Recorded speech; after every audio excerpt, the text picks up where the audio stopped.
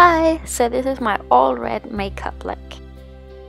First I'm taking Jeffree Star Designer Blood and start filling in my brows, or in this case painting them on. I'm using a small angle brush for this and making small strokes as it gives me more precision and then just filling them in when I'm done.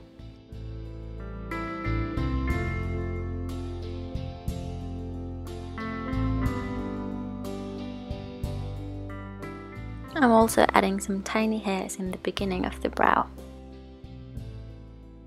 Then I'm taking Sugarpill Love Plus and apply that in my crease with a fluffy brush.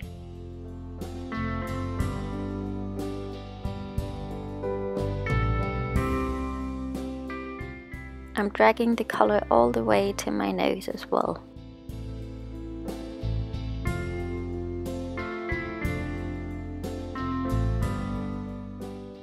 For my lower lid, I'm using a smaller brush and dragging the color into my inner corner and extending it just a tiny bit.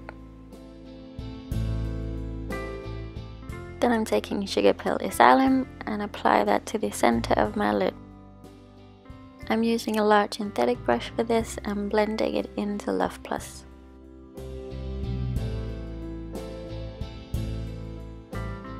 Then I'm using some random red glitter from Claire's and apply it into my inner corner. I've just mixed it with some glitter glue to make it stick.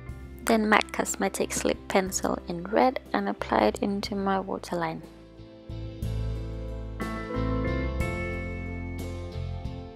Again I'm taking Jeffree Star liquid lipstick in Designer Blood and make a winged eyeliner. I'm using the same brush for the brows as well.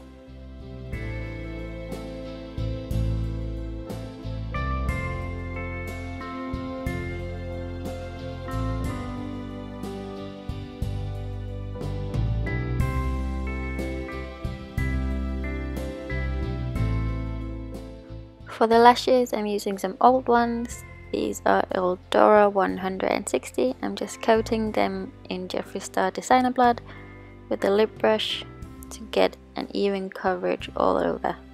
And I'm flipping them and painting on the other side as well. Once they're dry, I apply them on like any other lash. For the lips, I'm using Designer Blood as well and topping it off with Sugarpill Asylum in the center. I felt like something was missing near the eye so I added some tiny hearts.